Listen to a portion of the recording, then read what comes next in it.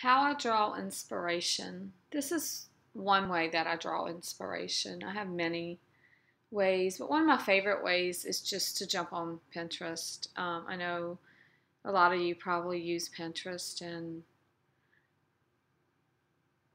so when you start pinning things on Pinterest, a lot of times it'll bring up things that they think you might like. Okay, and so, and a lot of this I do like like the block printing right here. And this, I'm just going to try to see if I could blow it up a little. This is like a, a quilting applique. And I can save these to different boards. See, it already comes up printing. And so these are great ways, you know, to draw inspiration. You can draw inspiration from colors also like this the birds over here some beautiful beautiful fall colors i would say in that and really with upcycling you know what most people um, that like upcycled clothing don't always have a set color that they're wearing you know they like a variety of colors. So you don't always have to uh, just do what's for spring or summer or fall or winter and so I love this. I love this piece right here. And I even love the apron um, right there. And even these colors. These were some of the first colors that I created with.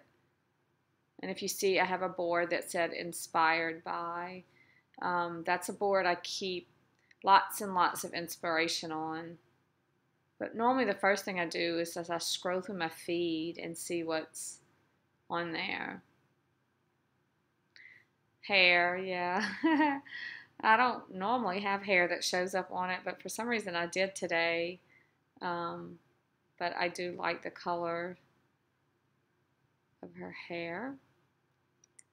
This is cool, large scale wall art ideas. See, I would take that um, also and think about putting it on fabric. You know, how could I put that on fabric? Um, so that's kind of how I draw inspiration. It's just from things around me.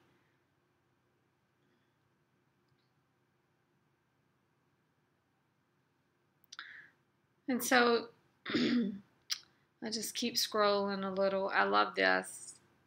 I have a, a board called the Quilted Dress um, because I have these ideas of doing quilted dresses. Um, not the whole dress quilted, I don't think, but just pieces of, you know, patchwork on the dress, you know, squares.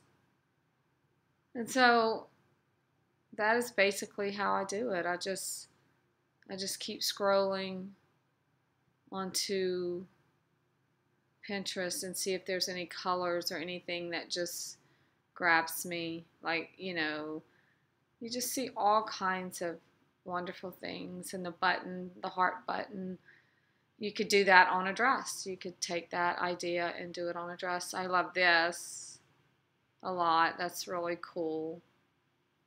I probably wouldn't do it as a skirt, but at the bottom part of a dress, you know, something along those lines, you can just draw inspiration from that. Not that you would do the exact same thing, but you know, you could look for fabric that has a big bird in it, you know, and then the color block the way they color blocked it in like that. And see at the bottom right here, this piece was added on last. This piece right here.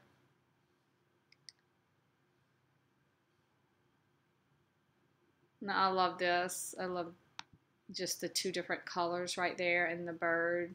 Those would go well together. So then you could find some fabric that um, were in those color ranges or you could do your own printing. And so you could find fabric that had bird in, you know, birds in it. Cute little bunny if you wanted to do applique.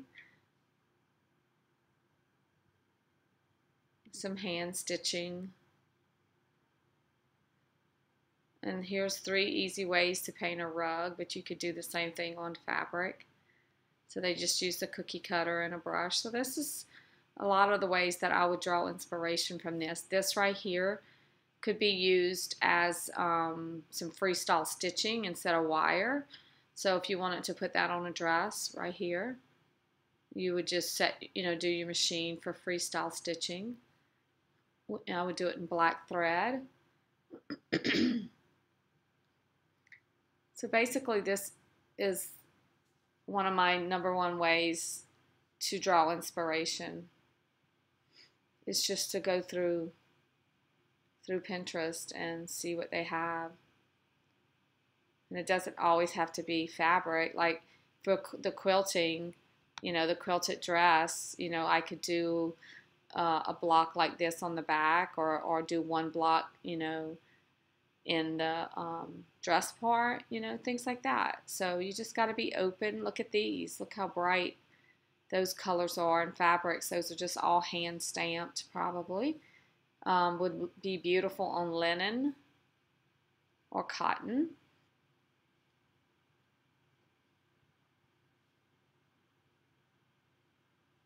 So do you see anything in in here that you like that you know that's inspiring you?